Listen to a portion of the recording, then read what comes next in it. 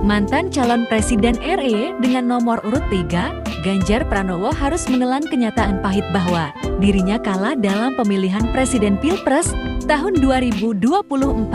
Hal itu kemudian mengundang tanda tanya, ke manakah dirinya usai kalah dalam Pilpres tahun 2024. Banyak spekulasi menyebutkan dirinya akan maju dalam pemilihan kepala daerah pilkada depannya. Ganjar menuturkan, dirinya kini hanya berfokus pada aktivitas di partai pengusungnya yakni PDI Perjuangan dan membantah keikutsertaan dalam pilkada. Mengenai posisi di PDI Perjuangan, Ganjar enggan berbicara banyak, menurutnya itu akan menjadi keputusan dalam Kongres.